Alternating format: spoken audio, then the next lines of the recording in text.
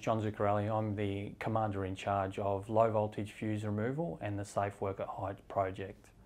This project uh, is looking after low voltage fuse removal from the conception, from training, right through to the equipment and where it will be placed and used out into the field. That's the same for Safe Work at Heights. So low voltage fuse removal is uh, the CFA's ability to disconnect supply when safe to do so, and safe work at heights is CFA's ability to work off roofs safely, uh, which is a requirement for, from WorkSafe. Our packages have been built by our subject matter experts in the field and it has been endorsed by Energy Safe Victoria and endorsed by WorkSafe, which is a really positive step for us to, to move through. The project team is currently rolling out training and low voltage fuse removal has been rolled out to 82 brigades uh, with about 25 brigades to go in stage one and uh, which is about 420 members that have been currently trained or will be trained in the stage one process. The prerequisites for low voltage fuse removal the, is the electrical awareness safety package that can be delivered either face to face or can be delivered by the learning management system.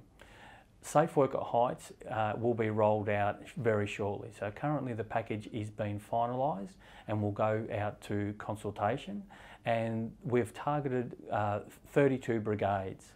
Now with both packages they will be delivered to a class 5, 4 and 3 brigades with ones and twos being selected at a needs basis by the operational manager.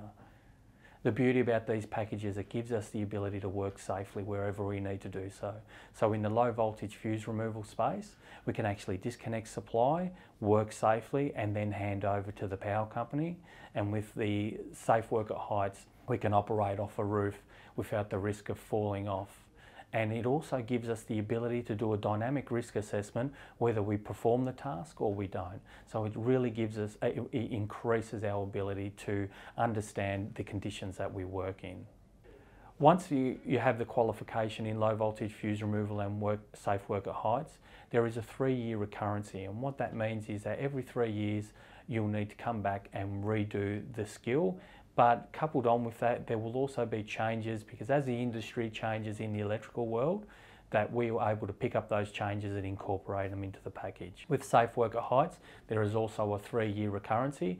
The Safe Work at Heights training is a two-day course uh, which incorporates all the prerequisites delivered on the day and uh, after the second day you'll be qualified in uh, Safe Work at Heights low voltage fuse removal. Once the prerequisites are done, it is a one day course that's approximately four to six hours of theory and then four to two hours of the fuse removal process. And once that's completed, the equipment will be sent out to the brigades and the minimum numbers for brigades to be trained in low voltage fuse removal is four members per brigade and then the kit will be sent. And for Safe Work at Heights, it's a minimum of five members per brigade. We're looking at a target audience of roughly about 20 people per brigade for each discipline. So it gives us flexibility and it doesn't, also, it doesn't put the burden on the members that are trained. But this is in stage two and stage three rollouts, which will be in the next couple of years.